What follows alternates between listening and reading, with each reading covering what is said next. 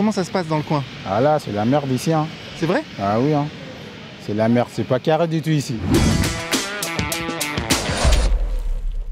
Ok, donc on se trouve aujourd'hui dans le quartier de Gare du Nord, qui est un quartier qui a évolué plutôt négativement ces dernières années, avec pas mal d'agressions, de choses un peu louches, de zones bizarres où on se sent pas en sécurité. On va aller voir ça ensemble. C'est parti. Alors le premier truc, c'est que c'est pas un quartier super propre. Déjà, c'est le, c'est le moins qu'on puisse dire. Regarde, on est accueilli par un scooter démantelé et des poubelles euh, amoncelées. Donc pour préciser le contexte, il est 11h du matin. Il est 11h du matin. Donc c'est même pas, je prends même pas le moment le plus chaud. Je pourrais venir ici à 19h, c'est la foire. Non, je viens ici à un moment censé être tranquille. Il faudra qu'un jour je refasse toute la série France saccagée et Paris saccagé by night. la nuit. À mon avis, l'ambiance est complètement différente. Ok, donc gare du Nord. En fait, cette gare est magnifique en soi, hein, architecturalement. Quand tu prends le temps de te poser et de regarder. On vit vraiment dans un pays euh, magnifique. hein, euh, C'est une merveille cette gare. Ok, donc instant histoire. En fait, cette gare du Nord, elle date de 1846 et elle est classée monument historique, chose que j'ignorais. Elle a été euh, fabriquée sur les plans de Léonce Reynaud, professeur d'architecture à l'école polytechnique. Puis elle a été agrandie au fil des, fil des décennies, quoi, des siècles même. 1846. Cette gare a 170 ans quand même. Hein. Ce truc de fou. Maintenant, on va voir le contexte dans lequel baigne cette gare. C'est encore autre chose. Qu'est-ce Ouais. que vous en pensez de ce quartier? Mais ce quartier, il y a, y a trop de gens qui traînent dehors, qui, fait, qui demandent de la manche et tout. c'est- Après, je comprends, c'est pas évident. hein. Mais parce que moi, je suis dans les réseaux aussi, je sais ce que c'est. Mais c'est un peu le bordel quand même. Ah oui Ouais. Et alors, comment ça se passe quand vous passez là? Bon, on a un peu peur quand même, un peu des fois, se faire agresser, même la journée. Parce qu'il y a beaucoup de gens qui font la manche, mais après, si tu dis non, ils sont un peu agressifs. Mais bon, heureusement qu'il y a la sécurité aussi. Ouais. Mais c'est pas assez. Il n'y a pas assez d'agents de sécurité. Ouais, je trouve, ouais. Je sais pas si vous vous souvenez, mais en janvier de cette année, il y a un homme de 31 ans qui a agressé une personne avec un crochet métallique à 6h45 du matin à l'intérieur de la gare du Nord. Donc la personne euh, s'est fait agresser sans raison apparente. Et euh, elle a couru, elle est allée jusqu'au parvis de la gare du Nord, donc juste là. Et elle est allée à l'hôpital évidemment. Et, cinq autres personnes qui ont tenté d'aider la personne qui se faisait agresser pour rien ont été également blessées. Donc au, au total, la personne a agressé six personnes avec un crochet métallique sans raison, le matin, à une heure de, où il y avait la foule, quoi, une heure de grand trafic. Ça s'est passé juste là. Donc voilà, pas très rassurant quoi. Un détraqué, un détraqué. Alors justement, pour prévenir ce genre de risque, vous savez, je suis contacté par euh, pas mal de- d'entreprises qui me demandent de faire des placements de produits. Je refuse la plupart du temps, NordVPN, etc. J'en ai rien à foutre. Par contre, là, il y a une application qui est super sympa. Je l'ai testée, elle s'appelle CQMap. En fait, c'est une sorte de Waze permettant de signaler euh, les dangers potentiels. Donc, euh, personnes louches, euh, agressions, euh, euh, tout ce genre de choses. En fait, vous pouvez les signaler sur une, application. Donc, c'est une équipe entièrement française qui a mis en place ça. Donc, je trouve que c'est une excellente idée. Donc, quand vous faites un trajet d'un point à un autre, plutôt que de le faire avec Google Maps, vous le faites sur CQMap et vous notez si vous voyez des choses louches, des agressions, etc. Ça permet à tous les autres utilisateurs, sont 10 000 aujourd'hui, mais il faut qu'ils soient bien plus, hein, évidemment. La- L'application a été euh, mise en place il n'y a pas longtemps. Ça permet à tous les autres utilisateurs d'être au courant euh, des potentiels dangers autour d'eux. Donc euh, voilà, CQMap. Allez télécharger l'application, elle est entièrement gratuite. On met le lien en dessous de la vidéo. Et c'est parti, on continue. Ici, ça zone un max là. Ça zone un max, c'est la sortie de la gare du Nord. Et les gens, quand ils sortent des gares du Nord, ils se retrouvent ici. Et là, j'avoue, c'est un peu la zone. Encore là, ça va, parce qu'il est, assez tôt. Il est assez tôt, mais sinon, ouais. Pas mal de gens qui attendent, des vendeurs à la sauvette. C'est pas, c'est pas top. Ça traîne, il y a tout les genres de personnes ici, quoi. Tu vois, non, il y, a- il y en a plein. Et du coup, les gens. Il y a plein de gens mauvais ici, en fait. Et vous, vous passez ici tous les jours? Euh, oui. Pour je, suis, je suis toujours là. Je travaille, mais parfois, je, je passe ici, en fait. Ah ouais? Ouais. Et vous avez peur? Non, je n'ai pas peur, je suis habitué d'ici, j'ai des poteaux ici, du coup je connais la zone. Et du coup, euh, je n'ai pas peur moi. Du coup, je connais plein de personnes qui me connaissent ici, je connais plein de poteaux ici aussi. Donc moi, j'ai pas peur. Et, et pour les femmes? Ouais, il devait avoir, avoir peur un peu quand même. Pour les femmes, euh, ouais, il devait avoir peur. Et même les voyageurs aussi, et voilà quoi. Oui. C'est un peu risqué. Quand même, c'est pas une zone, euh, voilà quoi. Il y a tout genre de personnes ici. Il y a tout genre les voleurs, les vendeurs de cigarettes, et voilà, tout ce que tu imagines quoi. Il y en a tout.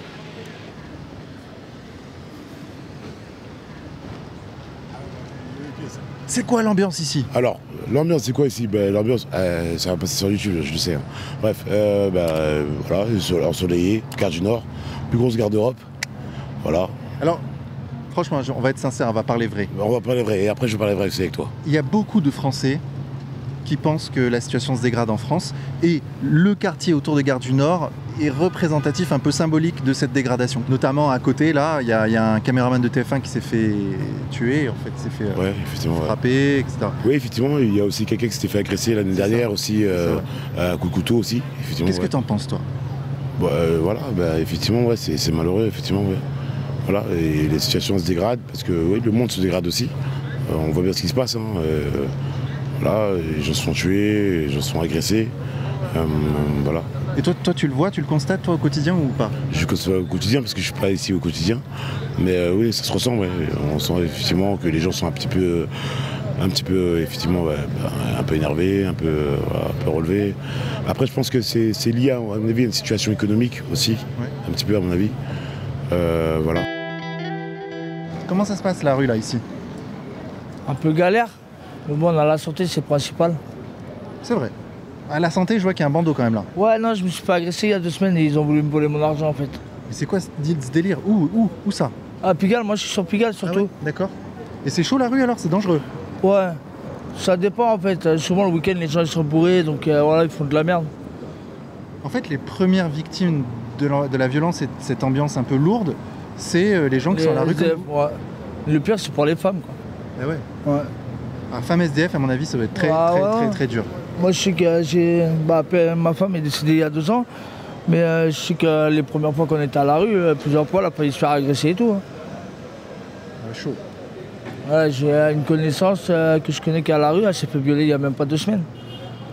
Bah, Il y a des femmes aussi qui sont à la rue, hein, il n'y a pas que des hommes. hein. Nous aussi, on est dehors et c'est très dur pour une femme. C'est encore plus dur qu'un homme.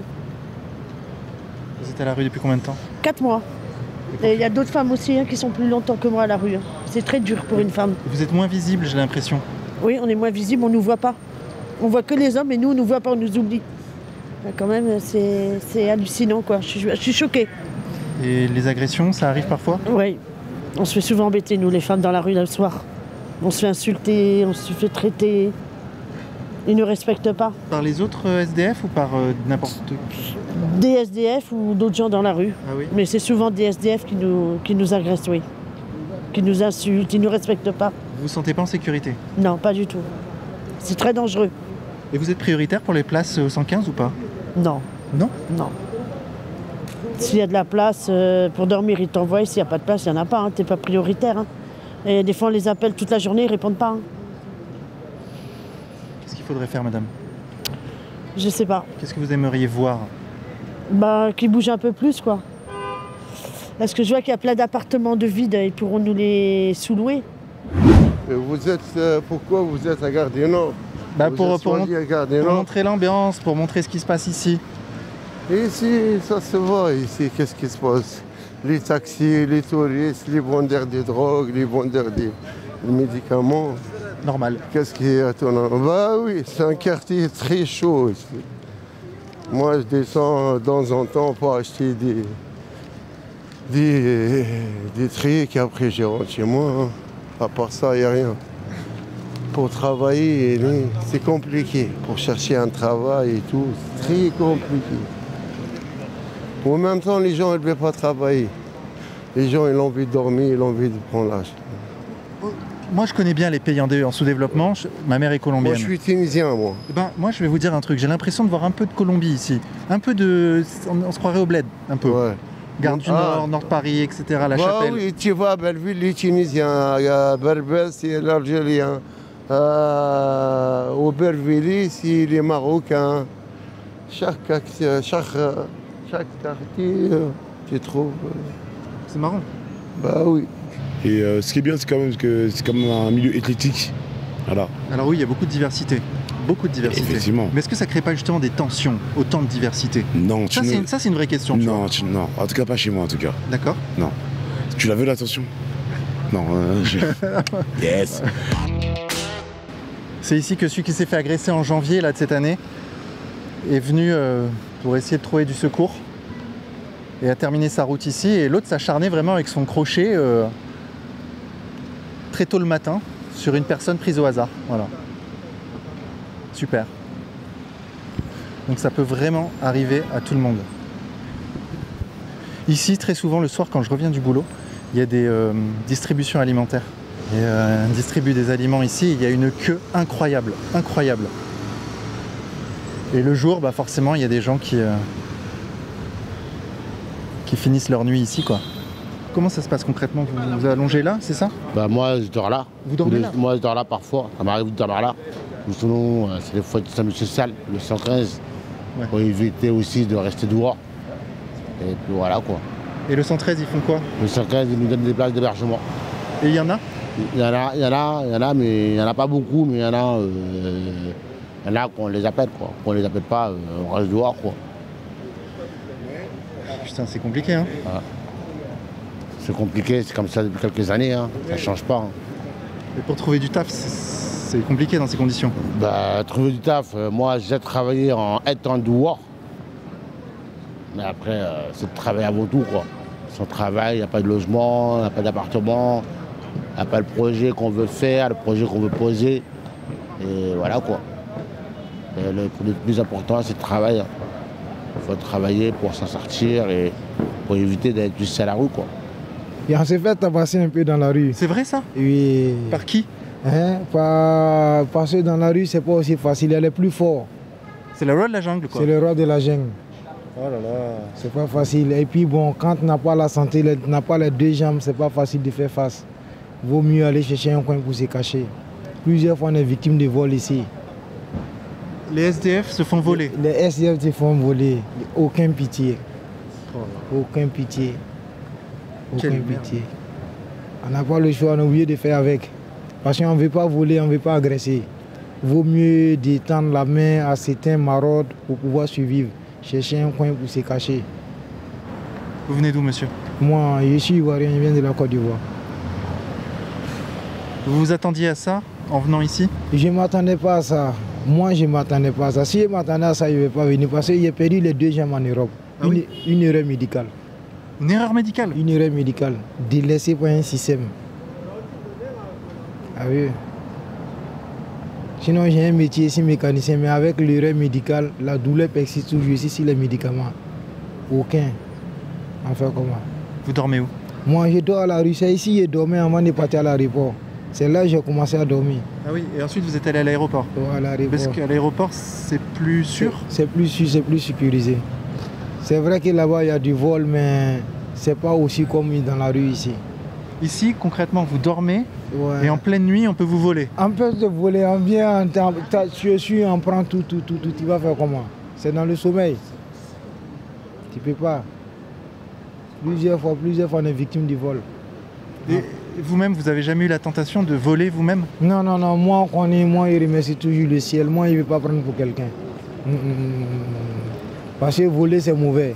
Vaut mieux travailler. Si avait mes jambes, il va aller travailler. Mais je cherche du travail avec les, avec les deux béquilles, c'est pas facile. Comment vous trouvez ce quartier de la gare du Nord? Bah ici, c'est bien. C'est vrai? Oui. Ok. Mais parfois, vous retrouvez des gens méchants aussi euh, qui, qui fument les cigarettes, mauvaises cigarettes aussi, bah, qui se retrouvent les pickpockets qu'on appelle à côté de la gare. Ah oui? Oui. Il y a des pickpockets là vous... Oui. D'accord, donc vous êtes tranquille malgré tout ou pas quand vous passez par là? Vous faites attention, vous prenez votre sac devant vous Il faut faire attention. D'accord. Ouais. Bah, ça a été avant, mais maintenant, il faut faire attention. Ok.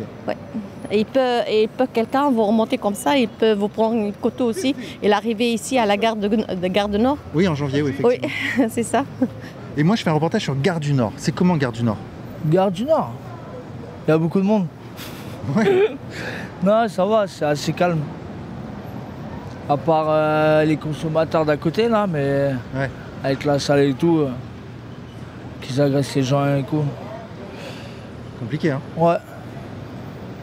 Ça fait combien de temps que. Je peux te tutoyer? Ouais, y a Ça- pas de souci. Comment tu t'appelles? Jean-Jacques. Enchanté, Jean-Jacques. Moi, c'est Vincent. D'accord, enchanté. Et du coup, Jean-Jacques, euh, ça fait combien de temps que toi, t'es à la rue? Moi, ça fait 7 ans. Comment t'es comment t'es arrivé là? Moi, perte de travail. Perte de travail, perdu ma maison, tout. Un engrenage, quoi. Et Dans l'engrenage, il y a l'alcool, la drogue L'alcool, ouais, euh, la drogue avant, ouais. Ah ouais Ouais. Et la famille, elle a pas pu t'aider, te retenir, te. Ben, moi, j'étais, j'ai grandi à la DAS, donc euh, d'accord. ma famille, je n'ai pas euh, connu, quoi. D'accord. Voilà. Et, et tu donc tu fais quoi euh, le jour? Moi, je fais la manche. Là, après, j'ai j'ai eu de la chance, c'est que j'ai posé un dossier pour avoir un hôtel social. Ça fait deux jours que je suis à l'hôtel, Ah, bah c'est bien. ça, pendant déjà. six mois. Donc t'as un répit euh, de six mois. déjà, voilà, pendant six mois, voilà. Ouf. Ouais. Parce que c'est dur. C'est ça le pire en fait, c'est parce que même moi je cherche du travail et tout, mais à chaque fois dès qu'ils voient que j'ai une domiciliation sur mon CV, et, euh, ils me demandent si je dors à l'abri ou pas. Et je disais non, mais sauf qu'à ce moment-là j'étais pas à l'hôtel, donc euh, direct euh, voilà. Le mec il va aller travailler, ça va durer combien de jours? Mais il faut qu'il dorme, faut qu'il passe la manche pour manger après le premier mois avant d'avoir son salaire. Donc les patrons ils ont peur, ce qui se comprend quoi. Que maintenant avec l'hôtel ça va peut-être aller mieux. Et tu cherches du travail dans quoi, Jean-Jacques? N'importe quoi. Moi, mais à la base, je suis agent de propreté. Mais moi, tant que ça me permet de sortir de cette galère, euh, j'accepte tout. Homme à tout faire. Ouais. Bon bah voilà. hein. Là c'est la vraie vie là. hein. Les gens qui galèrent, les gens qui galèrent un max, les gens qui en chient le plus quoi. Ça, ça m'intéresse.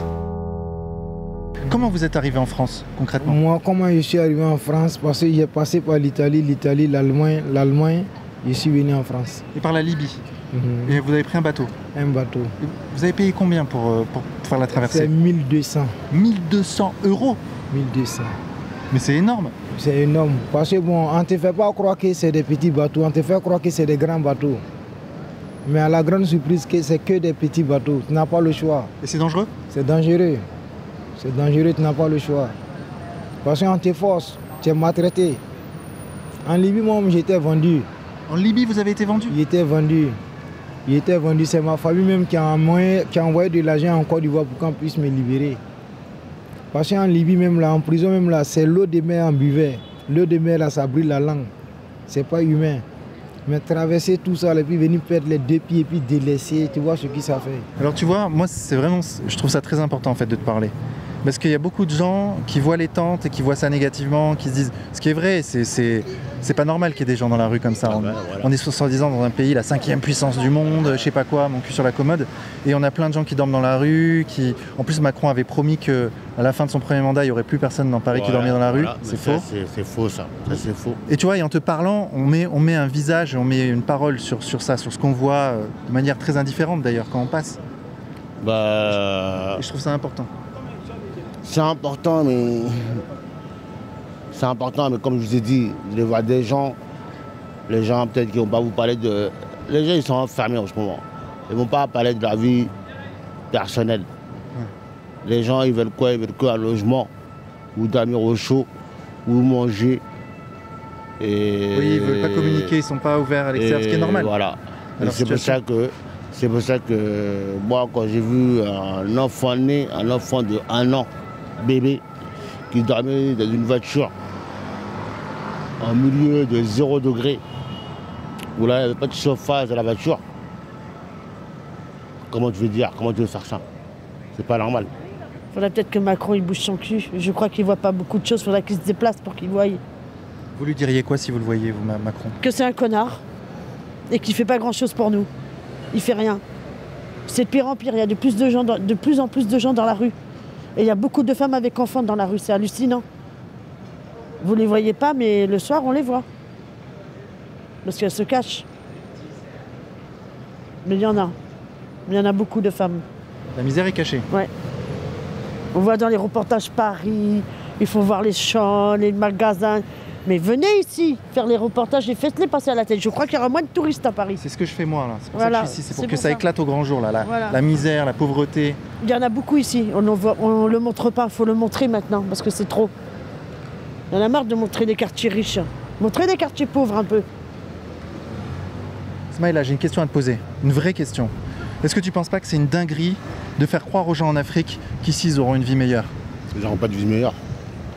Paris, moi je veux dire clairement, moi parfois je vois des mères de famille qui sont dehors. Je vois des pères de famille qui sont dehors. L'État français fait quoi pour les gens? Il ne faut rien. Pardonnez-moi, mais pourquoi vous avez eu l'idée de venir ici? Pour- Comment ça se fait que vous, soyez dit tiens, je vais aller là-bas pour voir si, mon, si, je, si je trouve une meilleure vie? Parce que moi, sincèrement dit, en France, moi on m'a dit en France, si tu as un problème de santé, si tu viens en France, ils vont passer la santé est prise. C'est ce qu'on m'a dit. Sinon, je ne me suis pas fait opérer en France. Je me suis fait opérer en, Allemagne. Une erreur médicale. C'est des sagers qui m'ont opéré. Maintenant, il faut venir en France parce que les Allemands, ils ont écrit sur un papier que je suis franchise. Franchise, ça veut dire français. Parce qu'ils viennent d'une colonie française. Mais quand je viens ici, là, non, non, non, non, non, non, non, non. C'est pas ce qui m'attendait. C'est pas ce qui m'attendait. Vaut mieux quoi, vaut mieux galérer. Soit on crève dans la rue comme un chien, ou soit le changement va venir. Parce que moi, sincèrement, dit, tu me vois ici arrêté. La colonne vertébrale est touchée. Les reins sont touchés. Les squelettes fait mal. Et puis, il y, a des- il y, y, a des- il y a des corps, tu vois ça? Il y a des corps en bas du pied, tu as vu? Il y a ça en bas du pied, ça fait très très mal. Tiens, regarde. Tu as vu? Il y a ça en bas du pied. Tous les deux pieds, c'est bandé. Si on enlève la chaussure, il tombe derrière parce qu'il n'y a pas la force d'appui. C'est incroyable. Ah oui. Comment faire Un jour, je ne serai pas ici, en train de dormir ici, comme un SDF. J'irai chez moi, j'irai ma propre famille. Et après, bah, m'envoler, quoi. Faire ma vie euh, pour moi et pour les autres, quoi. Essayer d'être heureux. Voilà. Mais la solution, c'est pas que l'Afrique vienne ici, c'est que l'Afrique se développe. D'accord ou pas d'accord Oui, je suis d'accord avec toi. Il faut que l'Afrique se développe parce que l'Europe, ce n'est pas le paradis. On nous fait croire que c'est le Dorado, ce n'est pas le Dorado. Si l'Afrique est développée, les enfants africains ne vont pas venir sur l'Europe. Ils vont trouver de quoi faire en Afrique. Mais on fait croire à tout le monde que l'Europe, c'est du paradis. Il faut arriver pour voir la réalité.